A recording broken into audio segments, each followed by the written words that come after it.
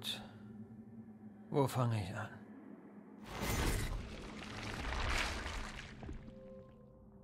Ich äh, bin Ethan. Ethan Winters. Das mit den Bakers ist jetzt drei Jahre her. Ich äh, wollte meine vermisste Frau finden. Ich bekam eine Mail von ihr. Da stand, ich solle sie holen. Naja, so bin ich halt in Louisiana gelandet. Als ich Mia fand, war sie in einem dunklen Keller eingesperrt. Sie war völlig von Sinn.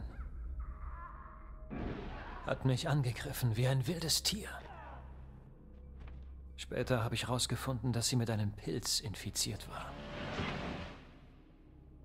Ich habe auf dem ganzen Anwesen nach einem Gegenmittel gesucht. Die Leute, die da wohnten, waren auch infiziert. Sie hatten alles Menschliche verloren.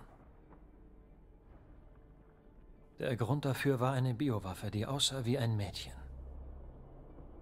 Ihr Name war Evelyn. Ich habe die Familie bekämpft und Mia mit einem Serum behandelt.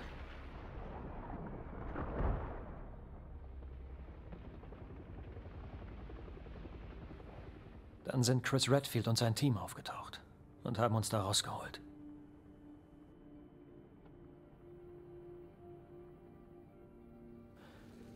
Ja, reicht das? Ich, ich möchte wirklich nicht mehr darüber reden. Es ist vorbei. Und damit herzlich willkommen bei Resident Evil The Village. Resident Evil, der achte Teil. Ja, das war gerade die Vorgeschichte, was gerade alles so im siebten Teil passiert ist. Für alle diejenigen, die den siebten Teil nicht gesehen haben oder nicht gezockt haben. Ja, ähm, was uns hier erwartet, ich weiß, ich, zu dem Teil weiß ich noch gar nichts. Ich habe mich versucht, von allen Spoilern wegzuhalten. Äh, denn ja, das werden wir jetzt alles gemeinsam erkunden. Und ich würde sagen, wir legen auch direkt mal los. Äh, ja gut, Veteran werde ich nie im Leben packen. Deswegen lassen wir das mal auf Standard. Ich glaube, das ist eine gute Balance, wie es da steht. Und wir gucken mal. Ich schalte mich mal kurz weg. Es ging einmal ein Mädchen mit seiner Mutter hinaus, um Beeren für seinen Vater zu sammeln, der schwer arbeitete. Doch der Wald war erfüllt von dunkler, kalter Stille, die Beerenbüsche leer. Fest entschlossen, Beeren zu finden, riss sich das Kind von der Mutter los und verschwand zwischen den Bäumen. Die besorgten Rufe der Mutter verhallten schnell, als es über Stock und Stein immer tiefer in den Wald rannte. Etwas schien das Mädchen zu beobachten. Es erinnerte sich an die Gruselgeschichten seiner Mutter und Schauder liefen ihm über den Rücken. Da erschien der Fledermauskönig. Er grüßte sie herzlich und biss sich in den Flügel. Komm, Kind, stille deinen Durst, sagte er. Und so trank sie das dunkle, klebrige Blut und lächelte zufrieden. Ihr Weg führte sie durch einen Friedhof, als ein Sturm aufzog und die Luft zu Eis erstarren ließ. Das Kind fror in seinen dünnen Kleidern. Da erschien ein finsterer Weber, der ihr im Handumdrehen aus Nebel ein wunderschönes Kleid strickte. Komm, Kind, wärme dich, drängte er. So zog sie das Kleid über und lächelte zufrieden. In der Hoffnung, ein Boot würde sie nach Hause tragen, überquerte sie eine tiefe, unheilvolle See. Doch ihr schrecklicher Hunger beraubte sie all ihrer Kraft. Da erschien der Fischkönig und bot ihr eine seiner Schuppen an. Komm, Kind, iss nur. Und so aß sie und lächelte ein weiteres Mal. Sie ging weiter und erreichte bald das finstere Herz des Waldes. Da erschien ein eisernes Ross mit einem prächtigen goldenen Zahnrad.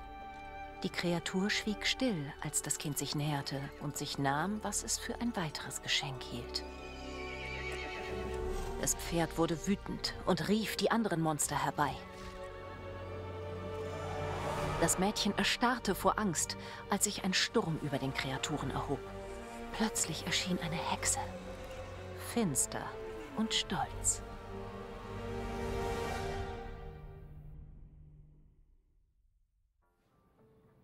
Wir waren gütig, doch du wurdest gierig, fauchte sie. Nun gebt, was uns zusteht. Und so sperrte sie das Kind in einen Spiegel. Da. Sie schläft. Hm. Muss es so was Gruseliges sein? Sie ist erst sechs Monate alt. Die Frau im Laden meinte, es sei traditionell. Ein Volksmärchen. Und Rose scheint es nichts auszumachen. Weil sie es nicht versteht, zum Glück. Wir sind hergezogen, damit sie ohne all das aufwächst, weißt du noch? Ja, ich kann mich erinnern. Du bist einfach paranoid. Ich... Äh, vergiss es. Tut mir leid. Aber ich bin nicht paranoid. Nur vorsichtig. Gut. Dann bring deine Tochter vorsichtig ins Bett. Ich mache uns Essen.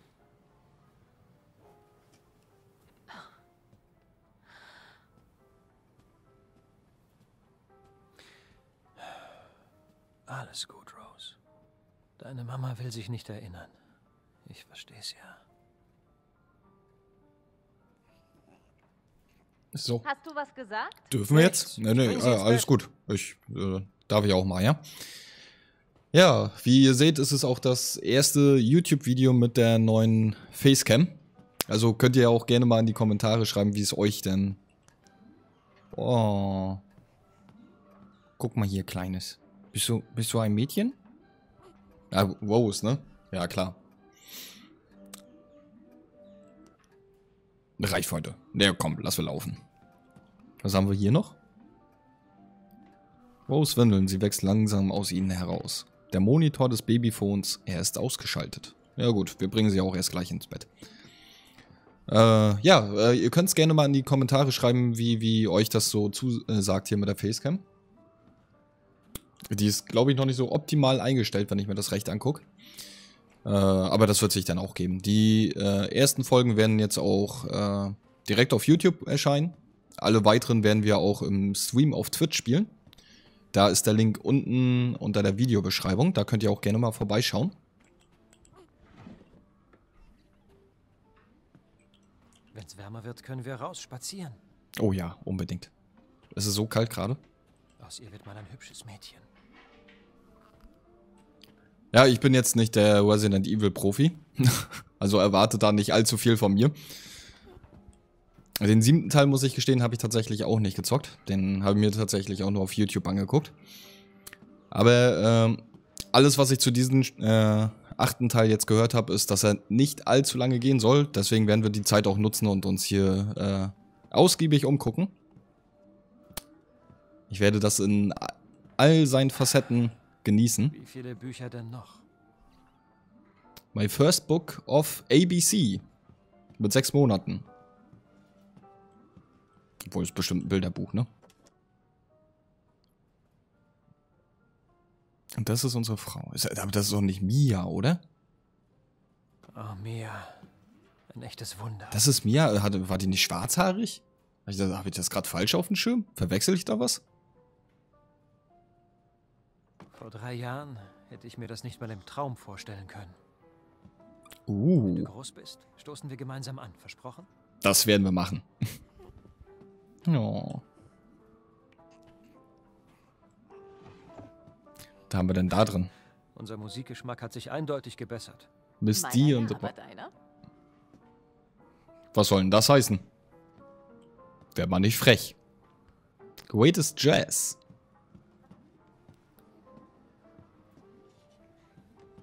Oh, lecker essen. Nicht so wie im, am Anfang vom siebten Teil. Da sah es noch ein bisschen anders aus. Nein? Dann später.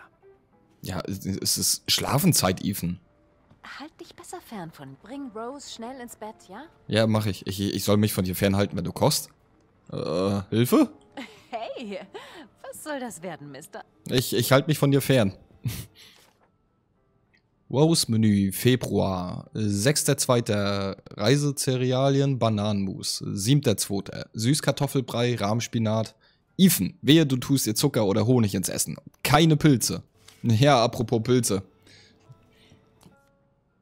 Im letzten Teil haben, äh, haben die Infektionen ja quasi äh, Pilze verursacht. Oder ein Pilz, um genau zu sein.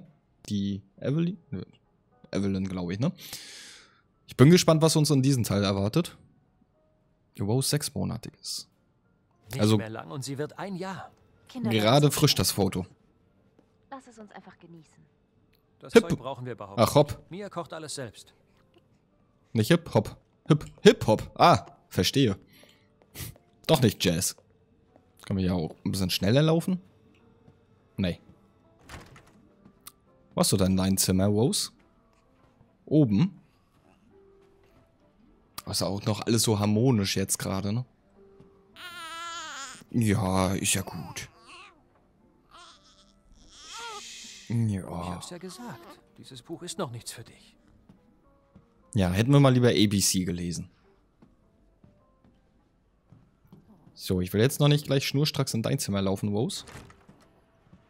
Das sieht nicht nach deinem Zimmer aus. Mu- musst du nochmal AA?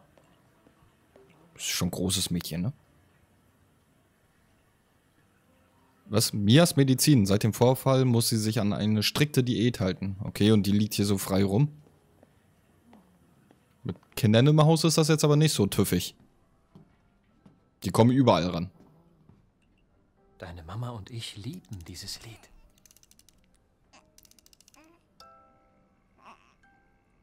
Oh. Rose freut sich. Rose liebt auch das Lied. Gehen wir mal hier hinten erstmal hin. Oh, hier ist aber duster die Ecke. Muss mal gucken, ob das auch so von, von der Dunkelheit her geht.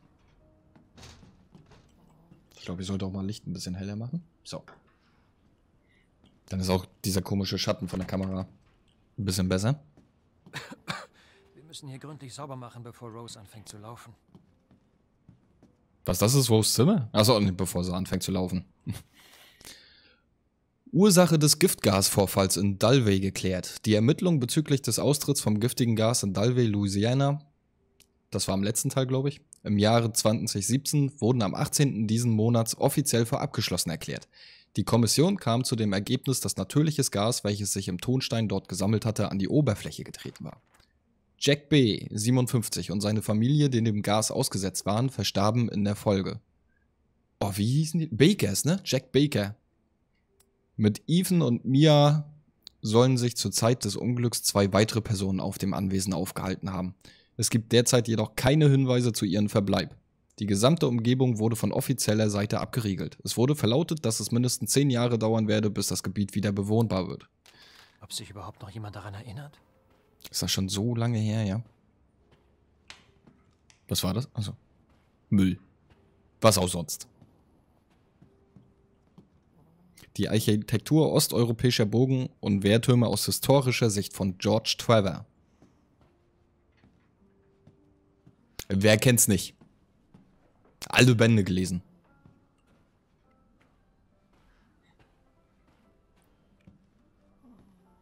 Fast da, meine Kleine. Fast da. Wir haben es gleich geschafft. Ging die Tür gerade von alleine auf? Hallo?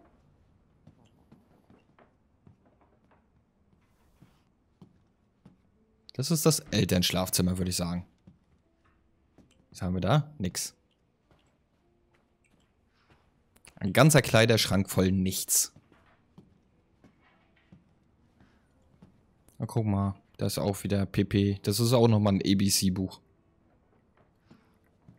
Okay, da müssen wir dich reinlegen. Die Sachen, die Rose morgen anziehen soll. Oh, mit Teddy.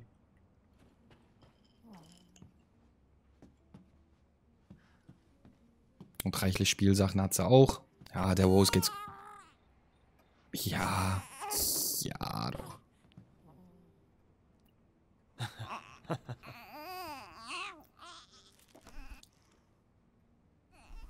Ach, das ist die Geburt.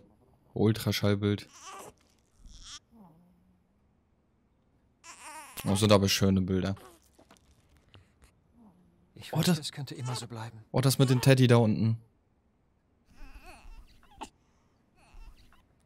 Gott, das sind schöne Bilder, ne? Bist fotogen. Überlebender an der Waffe, Handhabung, schwere Geschütze und Kapseln. Ich weiß, was ich gesehen habe. Oh, guck mal hier. Der darf nicht fehlen, ne? Oh, hallo, kleine Rose. Süß. Ja, wollen wir noch ein bisschen Musik hören? Zum Einschlafen. Name Rosemary Winters. Geburtsdatum zwe- äh, 2.8.2020. 62,3 cm bei 6,57 Kilogramm. Untersuchung, Hör- und Sehvermögen, Berührungsempfinden, Reflexe. Keine Auffälligkeiten. Kind ist bei guter Gesundheit. Sonstige Bemerkungen. Ergebnisse des Tests auf pathogene Pilze werden noch von der BSAA bereitgestellt. Applefield Memorial Krank äh, Krankenhaus. Kein Grund zur Sorge. Alles gut. 6. Februar 2021. Mia und ich haben uns mal wieder gestritten. Ich habe aus Versehen die Sache von vor drei Jahren erwähnt und sie ist wütend geworden. Wir haben uns endlich an unser neues Leben in Europa gewöhnt. Europa, okay. Hier kann Rose in Ruhe aufwachsen. Aber ich werde irgendwie dieses Gefühl nicht los, dass ein Teil von mir immer noch in diesem beschissenen Loch in Louisiana gefangen ist. Ich weiß, Mia redet nicht gern darüber, aber glaubt sie wirklich, wir können all das vergessen und so tun, als wäre es nie passiert? Sollten wir nicht verarbeiten, was wir dort erlebt haben, damit wir unser Leben mit Rose leben können, ohne dass dies, diese Erinnerung in unseren Köpfen umhergeistert? Ich finde, das sind wir ihr schuldig. Und Mia weiß das auch, da bin ich sicher. Wenn es ihr egal wäre, wäre sie im Krankenhaus niemals so nervös gewesen. Ja, aber so leicht zu verarbeiten ist das sicherlich auch nicht. So, dann legen wir dich mal schlafen, ne? Da wären wir, Süße. Muss das Mobile nicht über, eher über den Kopf sein? Papa lässt nicht zu, dass die bösen Monster dir was tun. Es gibt doch keine bösen Monster. Sag doch nicht sowas. So. Ah, jetzt hätten wir uns auch noch umschauen können. Ja, wir gucken mal, ob Essen fertig ist.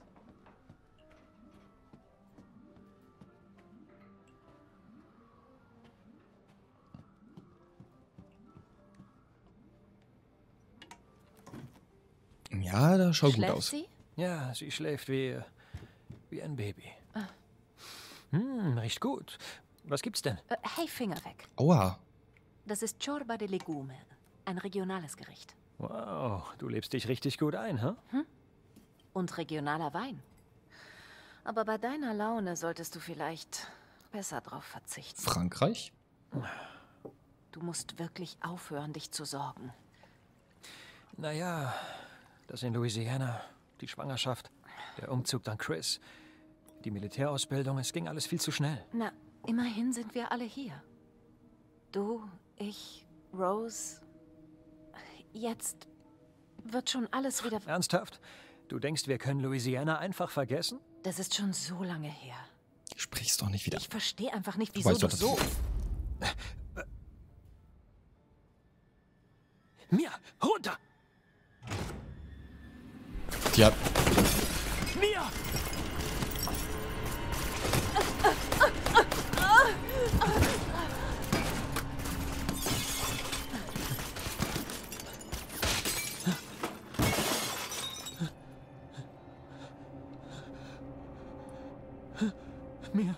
Gott!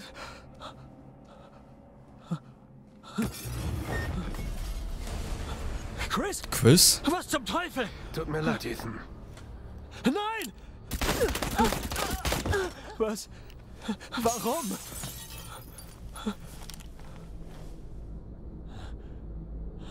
Chris war doch immer ein guter.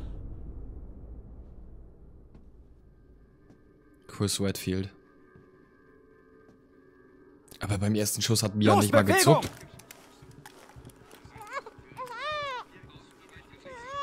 Sauber. Rose, was macht ihr mit meiner Tochter? Objekt gesichert, Sir. Bringt ihn weg. Nimm die Finger weg von ihr! Ethan, lass los.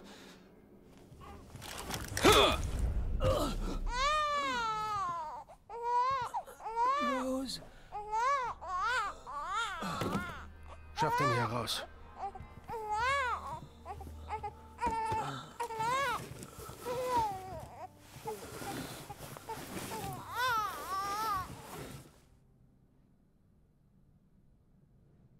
Das Wiedersehen mit Chris habe ich mir anders vorgestellt. Das ist ja grausam.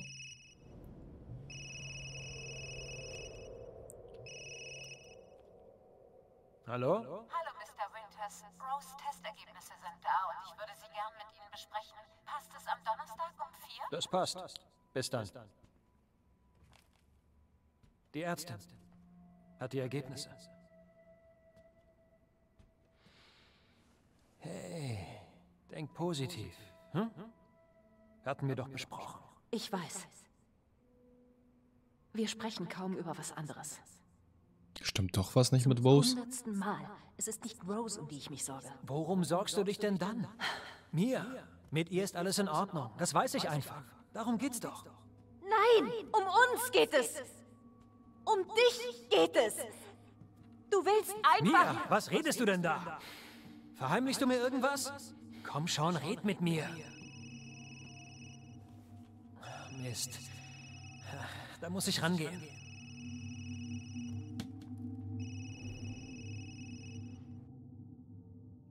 Jetzt blicke ich gerade gar nicht mehr durch. Oh. My Little Angel.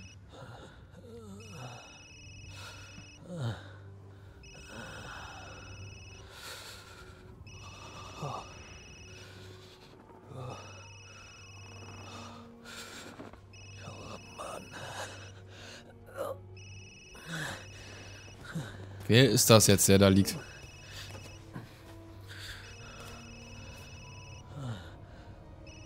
Wer braucht Zeit? Wie ist Ihr Status? Ist das Objekt gesichert? Wovon reden Sie? Wo ist Chris Redfield? Und Rose?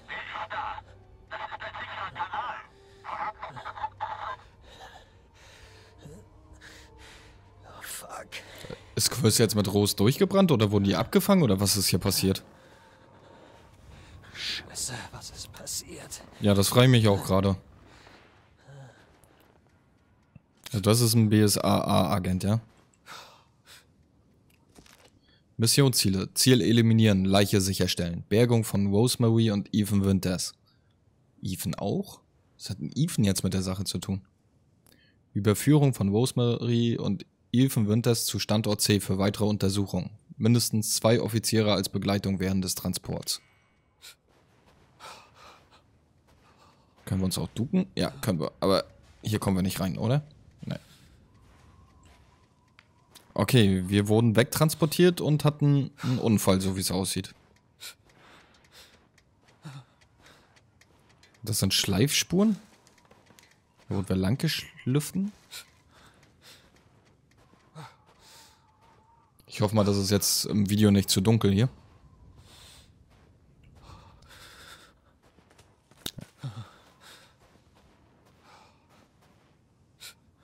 Das sind nicht nur meine Schritte, oder?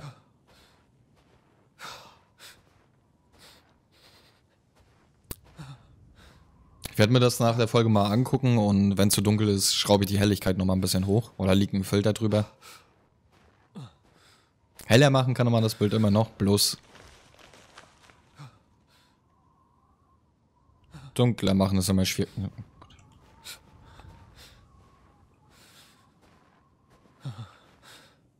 Ja, das ist schon gut.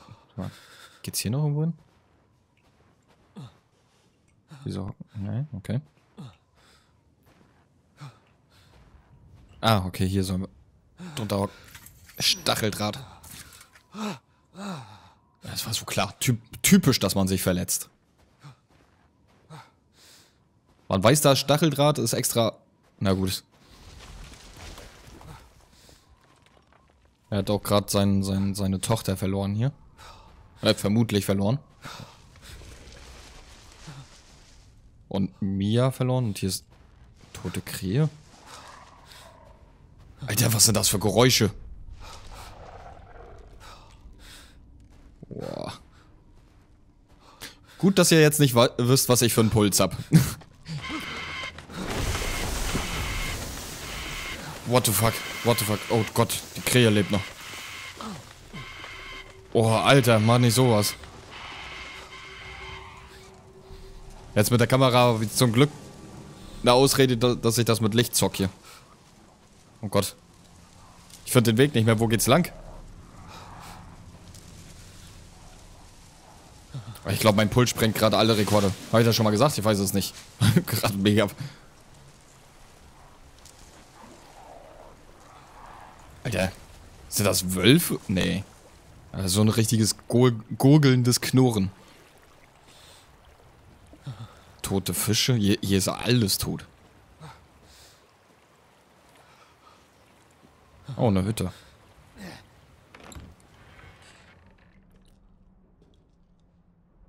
Äh, hallo? Jemand da? Haben wir hier eine Waffe irgendwie? Können wir irgendwas mitnehmen?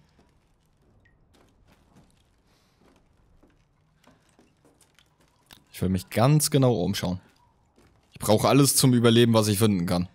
Ist das Bier? Nimm ich auch zum Überleben.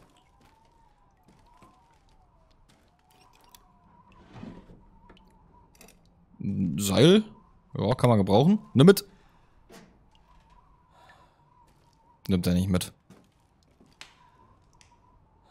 Vertrocknete Pflanze.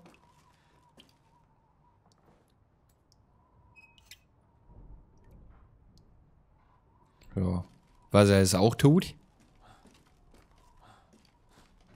Sah jetzt eh nicht so sauber aus. Knoblauch? Und wieder diese Pillen. Und Nasentropfen.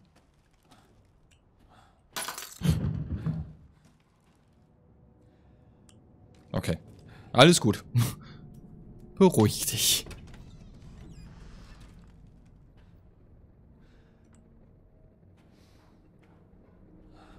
Hier ist auch einfach nichts drin, ne? Das war ich nicht, oder? Ist das Blut? Gehen wir mal davon aus, dass das auch nur Wein ist. Alter. Wieso ist das so fucking dunkel hier? Und so groß sah die Hütte von außen gar nicht aus.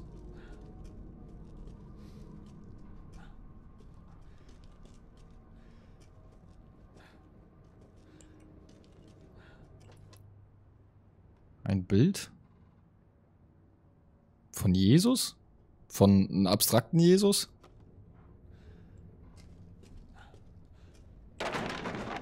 Natürlich. Was ist das?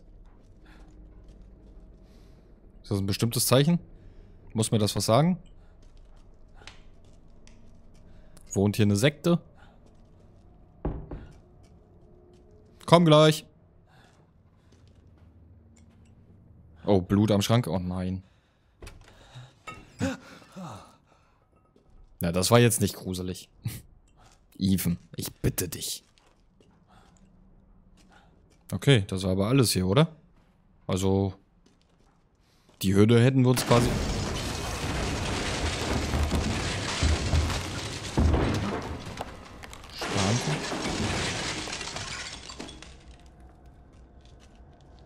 Kann ich mich hier irgendwo verstecken? Im Schrank. Ich verstecke mich im Schrank.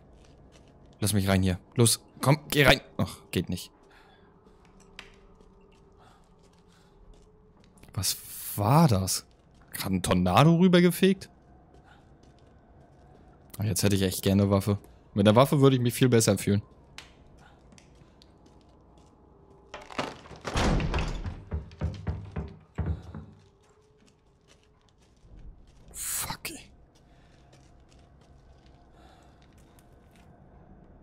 Bist du echt? Nee. Wieso stürzt hier einfach ein Schrank um? Oh, ob das so eine gute Idee ist? Kein leer machen. Kein leer machen.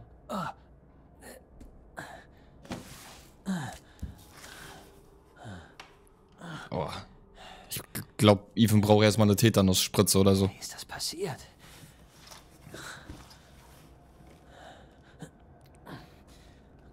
Okay, da ist jemand mit dem Kopf durch die Wand. Okay, der Ausgang ist vernagelt. Haben wir fast gedacht. Aber es ist heller geworden, oder? Okay.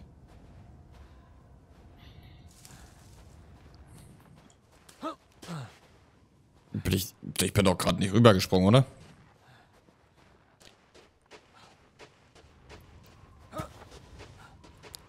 Ah, ich sehe gerade, die erste Folge wird wohl ein bisschen länger gehen.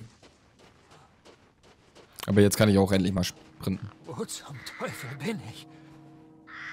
Okay. Da ist das Village. Das Dorf.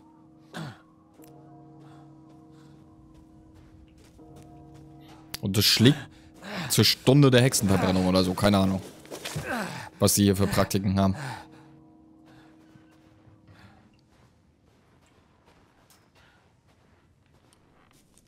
Oh, du bist aber ein gut genährtes Pferd.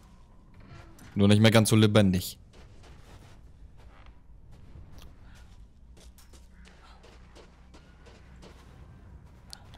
Okay, ich denke mal, hier geht's weiter. Mal hier kurz um die Ecke gucken. Ja, okay. Gehen wir erstmal hier rein. Aber wieso hängt hier überall Knoblauch? Geht's hier im Teil um Vampire, oder? Sind sie unterwegs? Okay, hier kann man das Schloss knacken. Haben wir einen Dietrich irgendwie?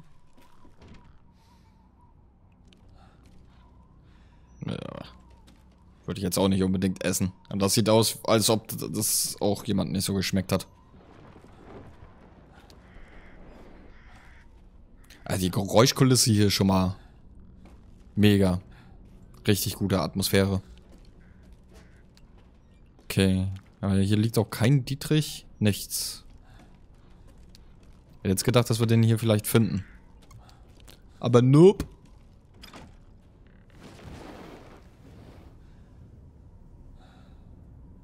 Habt ihr das gesehen?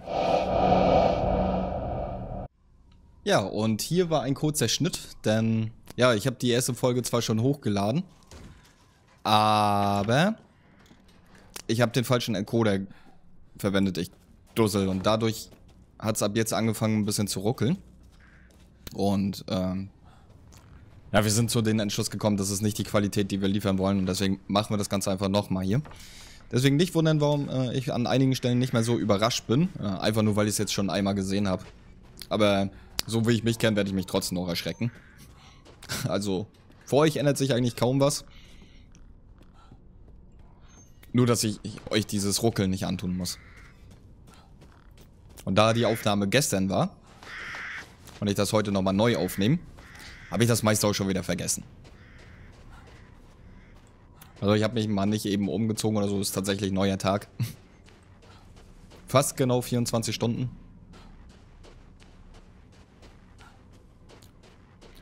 Und ich weiß auch gar nicht mehr, was ich, was ich zum Schluss alles äh, gesagt habe. Da waren sicherlich noch einige wichtige, interessante Dinge mit bei.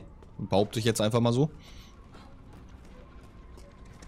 Äh, was ich auf jeden Fall sagen wollte ist, äh, ich schaue mich hier zwar gr- gründlich um in den... Sp ich hab's euch gesagt. Ich schaue mich zwar gründlich um in diesem Spiel. Also ich... Gerade da, äh, da ist auch... Ja, nicht allzu lange geht. Ich glaube, acht oder zehn Stunden oder so ist äh, angepriesen. Gerade deswegen werden wir uns hier viel, viel Zeit lassen, alles ganz genau anschauen.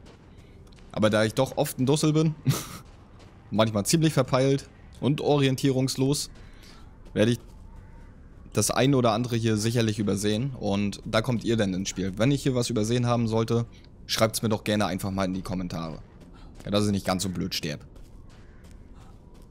Wäre super lieb von euch.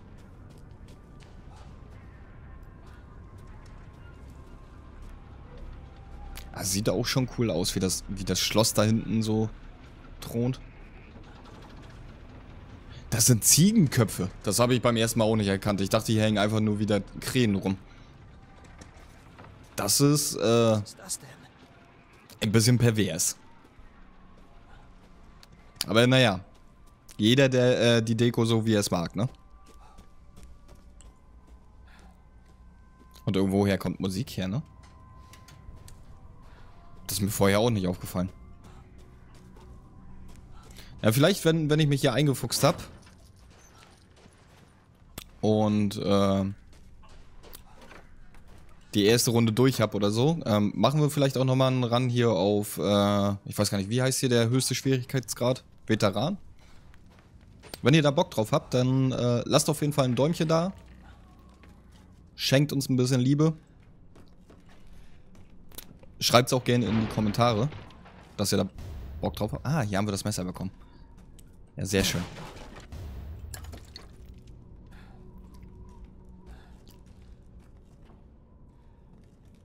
Sind Sie einfach weggelaufen? Ich weiß jetzt auch gar, äh, tatsächlich noch gar nicht, ob ich äh, die zweite Aufnahme so lassen kann, wie ich sie bisher habe. Oder ob ich äh, das Spiel nochmal laden kann dann. Weil da habe ich ja natürlich gespeichert.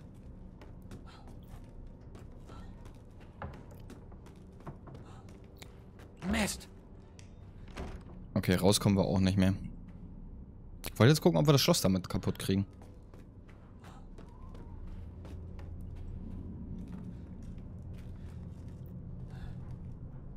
Aber hier sieht das Essen auch schon nicht mehr ganz so lecker aus, ne? Das sieht einfach aus wie reingebrochen und da drin schwimmt irgendwas.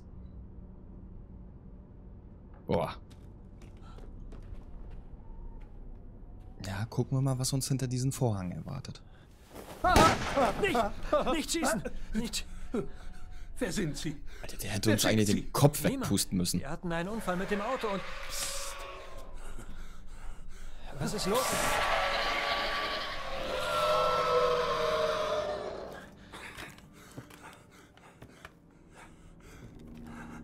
Oh nein.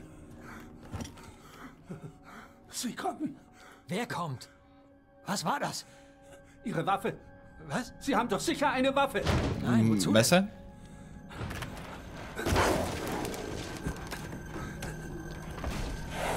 Nehmen Sie die hier. Nehmen Sie. Dann gib her. Gib her.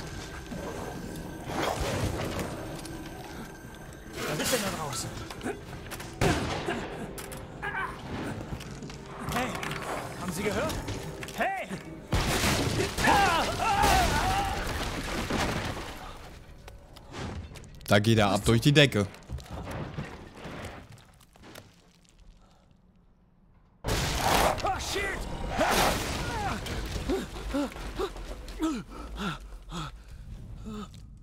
Und wir versinken im Boden. Eine Leiche? Nee, den geht's gut. Der schläft nur. Noch mehr? Ja, Gruppenkuscheln. Alles gut mit denen. Ja, wo das Vieh hin ist, was uns hier jetzt runtergezogen hat, also den, den, den Kumpel, den wir hier haben, der uns die Waffe geschenkt hat, den hat's ja anscheinend gleich zerledert. Aber wir sind typischerweise mal wieder glimpflich davongekommen. Und ob das auch weiterhin so bleibt, das sehen wir dann in der nächsten Folge. Also, wenn es euch gefallen hat, wie gesagt, lasst gerne Liebe da. Äh, ein Däumchen, ein Abo, wenn es noch nicht da ist, wird uns mega freuen. Und dann sehen wir uns beim nächsten Mal wieder. Also bis dahin, macht's gut.